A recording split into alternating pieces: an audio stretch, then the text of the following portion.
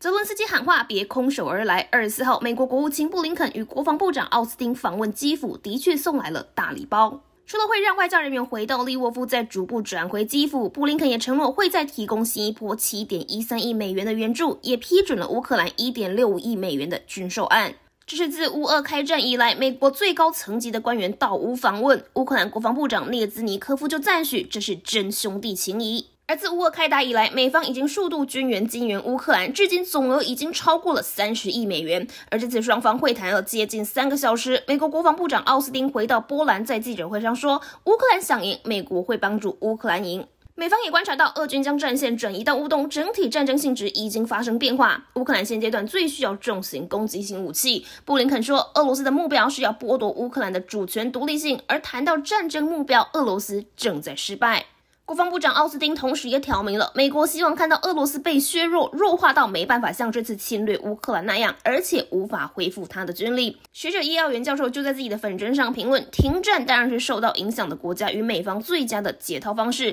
但普廷在基辅的斩首行动失败之后，没有台阶下的他，进而转向领土争夺战的消耗之战。而这场战事打得越久，的确越有可能弱化俄方军力，直到威胁不了欧洲与美国的地步。西方盟友持续送进重装武器支援。二十五号，俄国外交部长就批评泽伦斯基阻碍了和平谈判的做法，还警告冲突升高成第三世界大战的风险非常严重。而根据法国广播电台的报道，美方下周二将广邀北约与非北约四十个盟国在德国与会讨论，乌俄战争结束之后要如何协助乌克兰建立军事力量。五角大厦发言人科比则说，已经协调了三十个国家提供给乌克兰武器，至于是否延长援助，将会在会议中讨论。记者吴雨辰整理报道。